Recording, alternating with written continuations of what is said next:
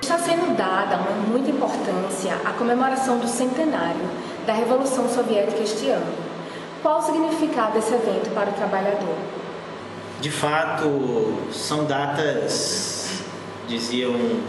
cartaz há alguns anos atrás, e eu acho que ele é muito válido para isso hoje, são datas redondas para tempos quadrados. É, nós estamos falando do centenário da Revolução Russa, do centenário da primeira greve geral dos trabalhadores no Brasil, né? e o centenário da Revolução Russa. A Revolução Russa tem uma importância enorme para o conjunto dos trabalhadores do ponto de vista mundial. Foi a primeira experiência com todas as contradições, e tem enormes contradições, né? mas foi a primeira experiência que os trabalhadores tomam o poder e decidem uh, como, o que e para quem produzir.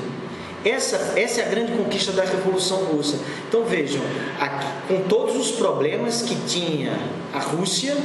com todos os problemas do ponto de vista do desenvolvimento das forças produtivas naquele período, mas os trabalhadores decidem e é a primeira uh, experiência exitosa Veja, o exitosa precisa ser qualificado, porque você teve levante, nós tivemos levantes populares antes de 1917. Né? Você tem a primeira comuna de Paris, depois a segunda comuna de Paris, 1848, 1871, mas quando inclusive ultrapassa os 100 dias, se faz um enorme, tem uma enorme comemoração porque você superou as experiências anteriores. E a, a experiência da Revolução Russa, do ponto de vista simbólico dos trabalhadores, ele possibilita entender que é possível a construção de outras relações sociais de produção que determinam, inclusive, as relações entre os seres humanos, né, de colaboração, diferente das formas que nós estamos subordinados, que é a forma baseada na exploração do trabalho. Ora, mas aquela experiência tem contradições, seria tema para a gente desenvolver longamente aqui. Mas é importante sinalizar que, do ponto de vista simbólico, valorizar aquela experiência não é no sentido de valorizar os acertos os equívocos, os equívocos, as contradições, as limitações daquela experiência tem que ser objeto de nossa reflexão e os trabalhadores vêm fazendo isso através de suas organizações, movimento socialista, movimento comunista, os próprios trabalhadores em geral fazem essa, fizeram e continuam fazendo essa crítica, mas recuperar do ponto de vista simbólico aquela experiência como uma experiência que demonstra de que é possível construir novas relações sociais de produção, estabelecendo estas relações a partir da solidariedade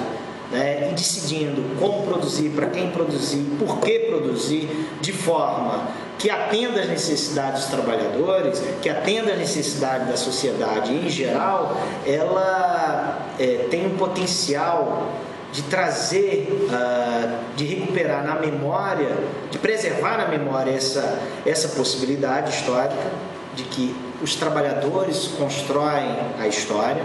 seja, a história é feita por homens e mulheres, e de que é possível ultrapassar essa sociedade que nós estamos subordinados, que é uma sociedade baseada na exploração do homem pelo próprio homem. Então vejam, esse é o significado de trazer na memória a Revolução Russa, a Revolução Soviética de 1917, para que a gente possa nos apoiando nos acertos daquela experiência, construir um futuro que de fato possibilite que a humanidade desenvolva uh, as potencialidades humanas. Eu acho que esse é o maior, maior legado que a Revolução Russa pode trazer para os trabalhadores. E nesse momento de ataque que nós estamos vivendo no Brasil e no mundo como um todo, né, ele permite a nós é, alimentar o espírito, no sentido de você é, recuperar as experiências positivas é, com a devida crítica, mas poder produzir